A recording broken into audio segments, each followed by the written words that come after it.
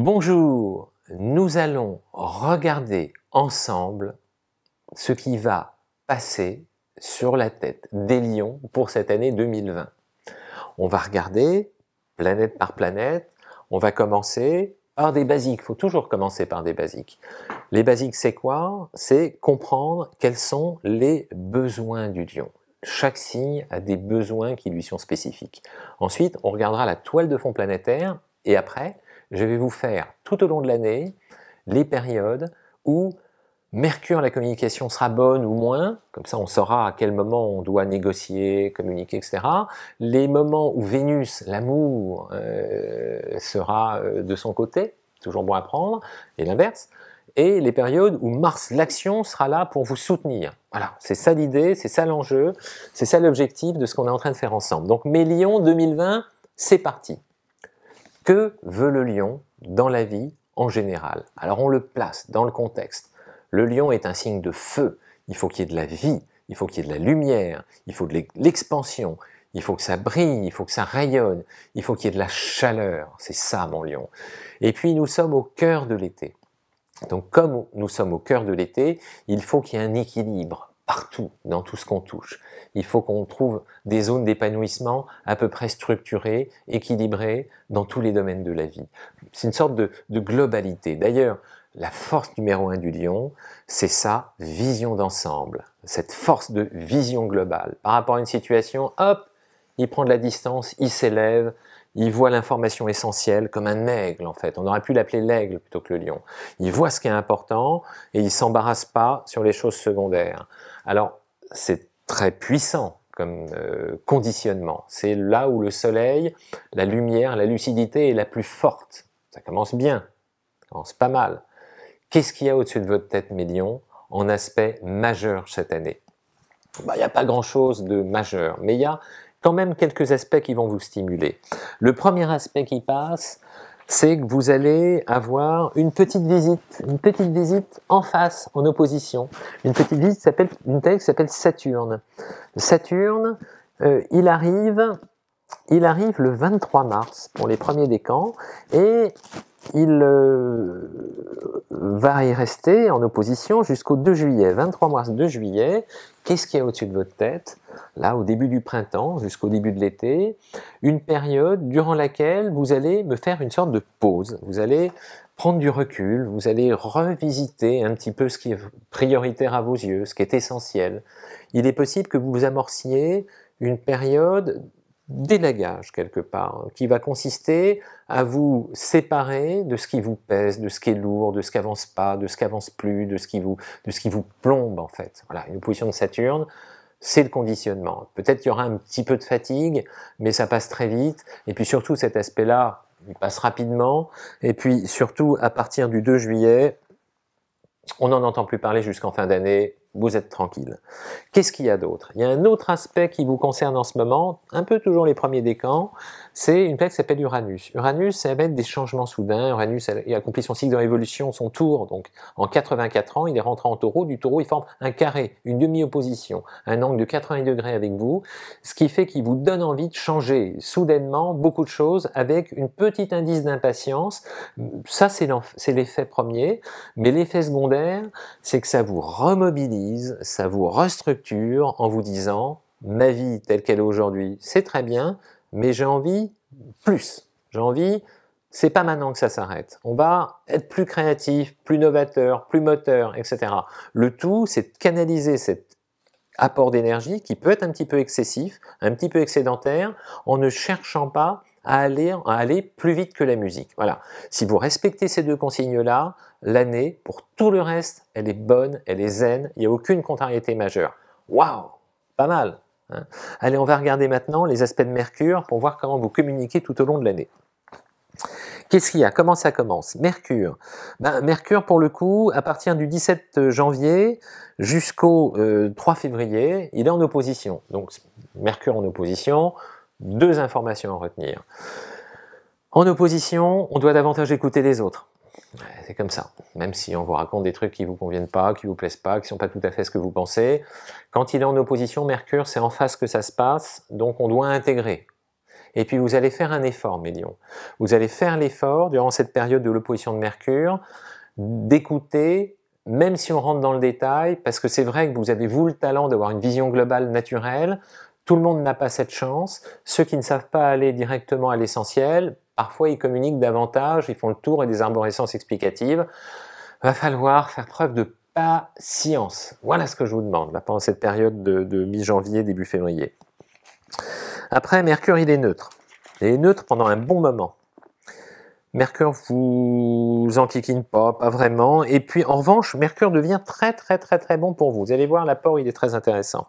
Entre le 12 avril et le 27 avril, bon je reconnais c'est 15 jours, c'est un peu rapide, mais cette période-là, vous me la marquez bien d'une croix sur votre agenda. Entre le 12, entre le, le 12 le 12, ouais, le 12 et le 27, c'est ça, 15 jours, avril, Mercure forme avec vous ce qu'on appelle un trigone, un angle, mais, mais topissime. Si on a des contrats, si on a envie de dire des choses, si on a envie de mettre en place une démarche, euh, de créer un lien précis, d'aboutir, de faire aboutir un projet, qu'on attend un résultat, que ça nécessite en parallèle de la négociation fine, du savoir-faire, de l'entre-gens, euh, euh, gérer du relationnel, vous serez merveilleusement opérationnel durant cette période-là en avril. Notez-la bien, elle est précieuse, elles sont rares quand elles sont aussi belles. Qu'est-ce que j'ai d'autre? À partir du 28 avril jusqu'au 11 mai, Mercure est en taureau, au carré de vous, on se tait, c'est simple, c'est le mieux on dit rien. Hein. Faites ça, et puis ça se passera bien. Mercure redevient fort sympathique à partir du 12 mai. Du 12 mai au 28 mai. Je sais, c'est encore 16 euh, jours, c'est court, c'est court, mais ce que je sais à l'usage, c'est quand Mercure avance très très très vite, comme c'est le cas là, quand il est aussi rapide, 2 degrés par jour, il est deux fois plus puissant, deux fois plus actif, c'est une planète rapide. Lorsqu'elle est dans des phases de révolution soudaines comme ça, les idées fusent, on est, vous êtes brillant. Voilà, point. On peut pas dire mieux. Quoi. Euh, vous êtes un bon orateur. Euh, une, votre capacité à, à, faire passer le message, à aller droit au but, à aller à l'essentiel, à gagner du temps, à aller au cœur de cible. Vous êtes optimisé. Super efficace sur le plan des communications, des échanges et des négociations. Après, en cancer, il est neutre. Il reste longtemps en cancer. Quand est-ce qu'il arrive et qu'il vous veut du bien? Il vous veut du bien en août. C'est simple en août. Hein. Là, vous allez rayonner, mes lions entre le 5 août et le 20 août, encore 15 jours, Mercure, l'intelligence, le mental, la lucidité, les capacités oratoires et intellectuelles seront au zénith, au max de leur puissance, parce que Mercure va passer chez vous en Lion. Voilà. 15 jours topissime au mois d'août où vous allez briller de mille feux, ou dans tous les cas, vous serez d'une finesse intellectuelle, orale, euh, explicative, convaincant, euh, on devrait captiver tout l'auditoire durant ces phases où Mercure est merveilleusement puissant. À saisir, j'y tiens beaucoup, celle-là elle est belle, très belle. Voilà, Mercure. Ensuite il est neutre, il est neutre. Voyons voir. Il revient vous aider, il vient vous donner un petit coup de pouce certainement dans vos affaires en septembre, à partir du 6 septembre. Entre le 6 et le 27 septembre, c'est pas mal non plus là. Tout ce qu'on doit régler, il faut le faire à ce moment-là. Mercure en balance rajoute en sextile avec vous, donc un bel angle de soutien, euh, rajoute cette petite notion de diplomatie qui n'est pas inutile. Toutes les finesses dont vous êtes capable pour rentrer dans l'oreille de l'autre, sans lever le ton, en étant argumenté, construit, posé, là, toutes vos infos rentrent plein pot dans l'oreille de l'interlocuteur ou de l'interlocutrice. Celle-là aussi, il faut me la surveiller. Ensuite, Mercure est en scorpion, donc là, museau, ou plus précisément, ne rentrez pas dans des discussions qui servent à rien, lâchez prise, débranchez, mettez l'amour propre dans votre poche s'il faut, laissez tomber. Mercure en carré, certains mots peuvent aller plus loin que la pensée, on peut rentrer dans des querelles qui s'enquissent, pas utile quoi. Donc, entre le 28 septembre et euh, Mercure, ouais. Et, et, et la fin septembre, non, non, c'est la fin octobre, pardon, la fin octobre, Ouais, le 28 septembre, 28 octobre, carré de Mercure. Il redevient sympa du 29 octobre jusqu'au 10 novembre. Là, on repart, on reprend la main. Communication fine, message tout en douceur, tout en souplesse, vos talents de diplomatie sont de nouveau au taquet. Et puis Mercure repasse en scorpion le 11 novembre. Et il y reste jusqu'au 1er décembre. Toujours pareil, quand Mercure n'est pas beau, museau, clair. Et ensuite, à partir du 2 décembre, mon Mercure, il rentre en Sagittaire jusqu'au 20 décembre. Et en Sagittaire, il est ami avec vous. Il forme un angle de 120 degrés. Il vous veut du bien. Et comment ça se colore un Mercure qui passe en Sagittaire? Ça se colore d'une communication positive, d'une communication optimisante. C'est-à-dire qu'on voit le bon côté des choses et on communique sur le bon côté. Et ça, ça paye, ça porte. C'est redoutablement efficace. À vous de vous l'approprier. C'est dit. Puis les neutres après jusqu'en fin d'année. Voilà, on a fait Mercure. Soyez de bons communicants. Maintenant, je vais regarder autre chose. Je vais regarder où était euh, Vénus, bien sûr, c'est le plus important. Vénus, c'est la vie amoureuse, Vénus, c'est l'affectif, Vénus, c'est ce qui nous intéresse le plus. On le sait, je ne vais pas vous le refaire en boucle, mais, mais c'est ce qui nous rend le plus heureux. Quoi. Donc voilà, on va en parler avec toute l'attention qu'elle mérite, ma belle Vénus. Donc Vénus, elle démarre l'année en opposition. Donc euh, en opposition jusqu'au 13 13 janvier, jusqu'au 13 janvier, ben c'est simple, hein. on est à l'écoute, hein, on s'impose pas, on laisse venir, on, essaie de faire plaisir, on, compose. Quand c'est opposé, c'est que ça vient d'en face, l'énergie. Et si l'énergie vient d'en face, on l'accepte, on gère, on est fluide, on est zen, on digère. Voilà, bon conseil. Vénus est neutre en plus. Après, à partir du 16, du, ouais, de la mi-janvier, ma Vénus, elle est complètement neutre, complètement neutre, et elle arrive en bélier, bélier signe ami, de l'élément feu à l'élément feu. Ceux qui font de l'astro avec moi maintenant depuis quelques mois, ils savent hein, les éléments qui s'associent. Hein, merci. Après, on apprend plus de trucs tout de suite, ben, ça devient plus facile, c'est sûr. Alors après, Vénus rentre en bélier à partir du 8 février. Du 8 février jusqu'au 6 euh, mars, Vénus vous veut du bien. Vénus vous apporte ce petit supplément de charme, ce savoir-faire relationnel, mais en même temps, comme elle est colorée par le bélier, l'aspect est beau, mais c'est une couleur bélier. Donc, il y a un côté offensif, il y a un côté je prends l'initiative, euh, je donne le ton, euh, je fais avancer des situations. Ça accentue le côté moteur. Si vous avez une tendance parfois à être un peu sur la réserve, un peu timide, ce passage de Vénus, il va vous donner la pêche, il va vous stimuler sur le plan amoureux. C'est très bien. À partir du 6 mars, Vénus en 30 euros, on ne va pas épiloguer sur le truc, c'est un carré. Donc la sensibilité à fleur de peau, vous le savez, vous êtes plus réceptif, on n'en fait pas un drame, on polarise pas. En revanche, à partir du 4 avril, Vénus passe en Gémeaux, et en Vénus en Gémeaux, elle vous veut du bien. Entre le 4 avril, puis elle reste longtemps en Gémeaux, elle reste du 4 avril au, au 7 août. Waouh 4 mois et 3 jours. En signe ami, ma Vénus. Pendant 4 mois et 3 jours, vous avez Vénus qui vous veut du bien. Vénus, le charme, le savoir-faire relationnel, l'aura, le rayonnement personnel, le, savoir-faire relationnel, l'aisance naturelle, la bienveillance de mon lion, qui a tout en place pour prendre toute sa dimension. Ça rime, j'aime bien. Et ben c'est beau, quoi. Voilà, c'est super. Euh, vous êtes dans des phases là gâtées, waouh, méga gâtées sur le plan affectif là jusqu'en début août. Euh, mais en plus, elle se colore quand elle est en Gémeaux d'une capacité oratoire, c'est-à-dire que vous aurez le charme euh, de, ceux qui savent s'exprimer, qui savent faire passer l'info, le message, etc. Voilà l'info de fond qui va durer 4 mois. C'est une période bénie sur le plan relationnel. Mais c'est en plus, dans ce signe-là, ça favorise les rencontres, les liens, les contacts. Ça favorise l'expression de tout ce qu'on ressent.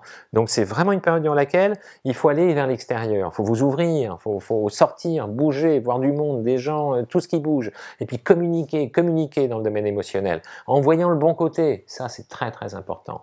En faisant des compliments, ça si vous y arrivez, mais vous avez tout compris. Voilà votre mission. Qu'est-ce que j'ai d'autre? J'ai Vénus, elle est neutre après le reste d'août. Vénus arrive sur votre tête. Quand est-ce que Vénus arrive sur votre tête? On le sait, quand une planète arrive pile poil sur notre tête, c'est meilleur, c'est le dessert, c'est la cerise sur le gâteau en quelque sorte. Bref, Vénus arrive en Lion le 7 septembre. Elle va y rester jusqu'au 2 octobre, donc quasiment un mois. Retenez bien ça, que Mélion, Vénus, l'amour, sera pile poil au-dessus de votre tête, donc au maximum de sa densité, de son, de son énergie positive, au maximum du charme, au maximum de la chaleur, du rayonnement amoureux, du besoin d'aimer d'être aimé, plus, plus, plus, dans cette période de septembre-là, hein, jusqu'au jusqu'au 3 octobre. Waouh J'en veux bien toute l'année, moi, des passages de Vénus sur ma tête. Hein. vous me direz ce que vous en pensez. Hein. Voilà, qu'est-ce qu'il y a d'autre? Ensuite, elle est neutre en Vierge. Vénus arrive en balance le 29 octobre et elle y reste jusqu'au 21 novembre. Un mois avec Vénus dans sa plus belle position possible qui vous veut du bien. vous allez gagner en douceur, vous allez gagner en finesse, vous allez gagner en, perception des besoins de l'autre. Euh, c'est simple, Vénus en balance, elle est en maîtrise, elle colore le ciel de cette douceur ambiante que vous appropriez, vous, avec l'angle qui vous est particulièrement heureux. Euh, vous êtes encore dans une période de charme extrêmement marquée, c'est top. Voilà, c'est dit. Après, en revanche, à partir du 22 novembre, elle entre en scorpion. Elle rentre en scorpion jusqu'au 16 décembre. Donc, euh, me prenez pas à brûle pour point, tout à cœur, la moindre remarque, réagissez pas à chaud, euh, laissez passer le truc, et puis comme ça on crée pas d'aspérité, il n'y aura pas de problème. Mais ça aussi vous savez faire.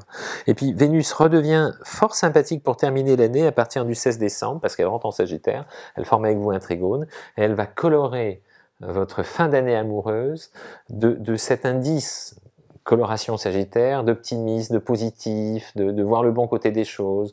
Donc on est bienveillant, on gagne en générosité et en chaleur.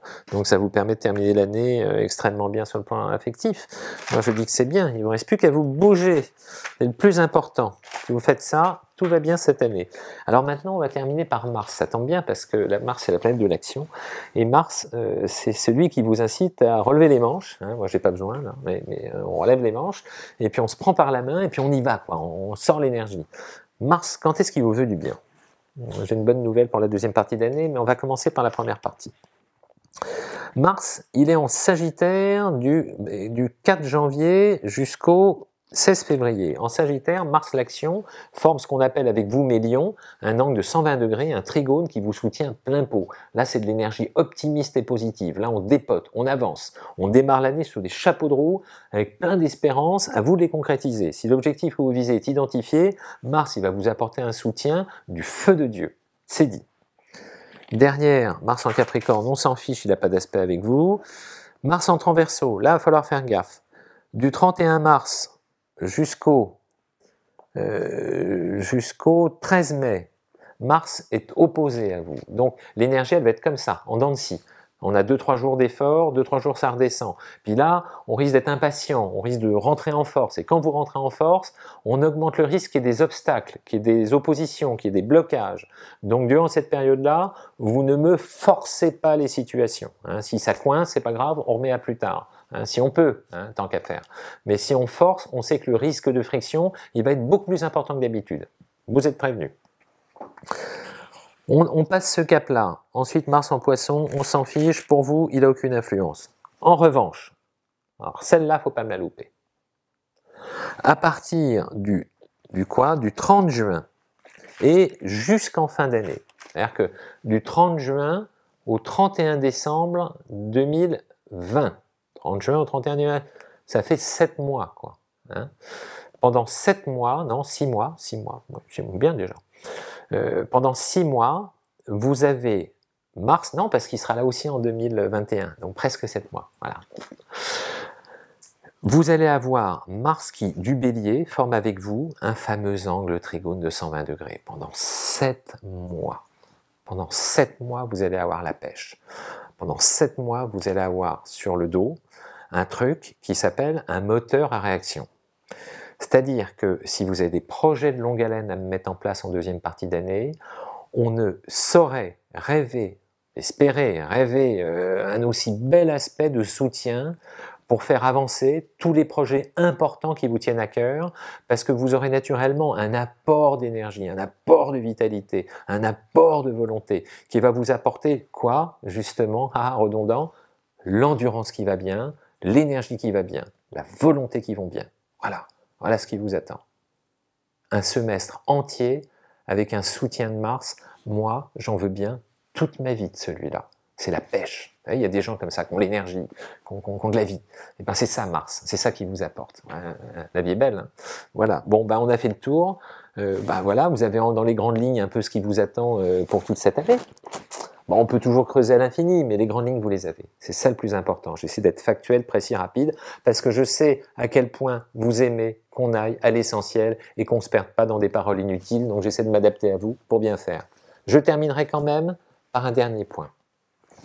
On va essayer de faire vite fait un petit tour avec les soleils et les ascendants, comme ça de tête. Vous qui êtes lion, ascendant bélier, Lion ascendant bélier, bon, il y a quelques petits passages dans l'année euh, qui freinent l'ascendant début d'année, où vous avez du mal à trouver votre place, ce qu'il va falloir travailler. Euh, mais Lion ascendant bélier, c'est l'image que vous donnez. Efforcez-vous de donner une image moins frontale, moins frontale. Vous allez voir à quel point ça va vous faciliter la vie, à quel point, sur le plan relationnel, beaucoup de choses vont se baisser en température. Parce que vous allez avoir pendant six mois Mars l'action sur votre ascendant. Et Mars sur l'ascendant, ça va vous donner une puissance d'action, une puissance d'affirmation qui va être euh, doublée. Donc en clair, ça à rien de rentrer dans le lard des interlocuteurs parce que ça ne peut que créer des obstacles et finalement, in fine, on perd du temps. Voilà, c'est dit. Il n'y a que ça à gérer, sinon tout le reste est bon. Lion ascendant taureau.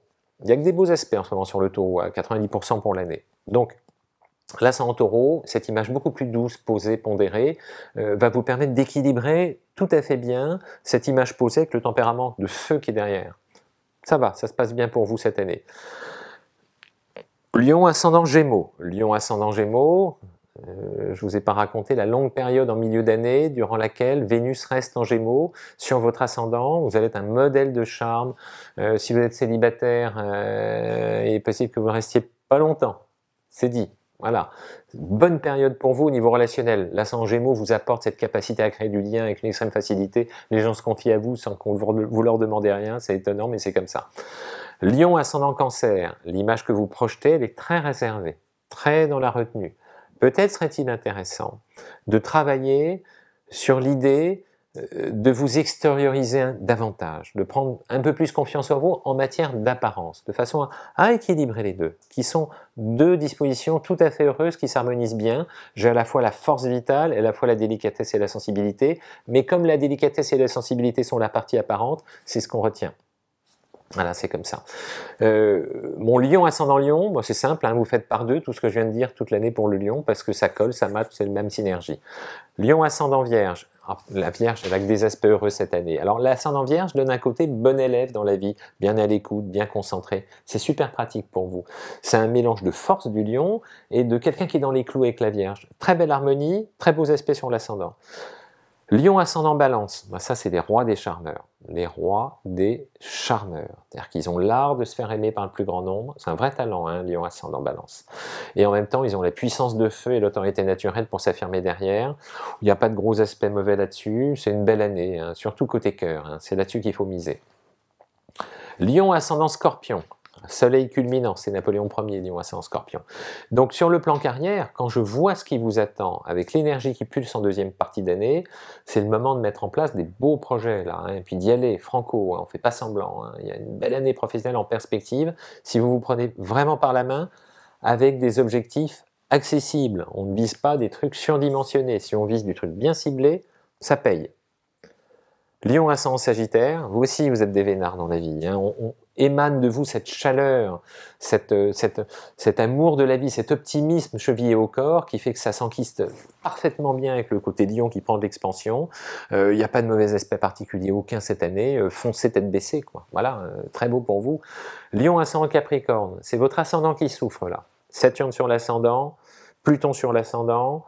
Il va falloir travailler le mécanisme de la retenue, du doute et de la confrontation aux autres, de pas être de manière à pas être frontal dans vos relationnels, dans vos, dans vos échanges aux autres. Euh, travaillez la souplesse d'aspect, travaillez ce point et ça se passera très bien. Lion ascendant verso, aucune contrariété particulière. Vous avez la chance de donner cette première impulsion du contact facile qui vous rend agréable, sympathique. Et puis le côté lion, lui, a cette autorité naturelle qui s'engouffre bien dedans. Euh, c'est l'union qui est importante cette année. Ça va être l'enjeu, l'enjeu sur lequel on doit travailler. Et puis Lion ascendant poisson, euh, il y a Neptune en ce moment sur votre ascendant poisson. Neptune, il est intéressant. Neptune, c'est la planète qui gouverne le poisson. Euh, ce qu'il faut surveiller, euh, Lion poisson, vous avez dans ces deux signes une planète maîtresse commune qui est Neptune. Et, cette planète commune, Neptune, peut à un point faible. Hein. c'est un point faible, c'est le flou. Ce qui est essentiel pour vous cette année, Neptune est là, il me réveille mon ascendant, ça augmente la réceptivité, ça augmente la sensibilité, mais ça peut aussi augmenter le flou des objectifs. Il est donc essentiel, pour vous plus que pour tous les autres, de vous fixer un objectif à la fois concret et réaliste, accessible et atteignable, de façon à ne pas perdre votre belle énergie en la concentrant sur un objectif bien tangible et bien concret. Si vous me faites ça, la vie est belle. Voilà, on a fait le tour. Voilà ce qui vous attend pour vous, mes lions, cette année. Une belle synergie d'ensemble, pas trop de contrariété, petit carré d'Uranus, petit passage opposé de, Saturne pour les premiers décans. Ça fait avancer le schmilblick, ça vous fait du bien. Pour le reste des lions, c'est tout bon. Voilà, hein, c'est dit. Allez, on se dit à très vite, à très bientôt. Puis merci pour vos likes. Euh, moi, je suis super sensible à ça. Et c'est vraiment ce qui me fait le plus plaisir. À bientôt. Ciao, ciao.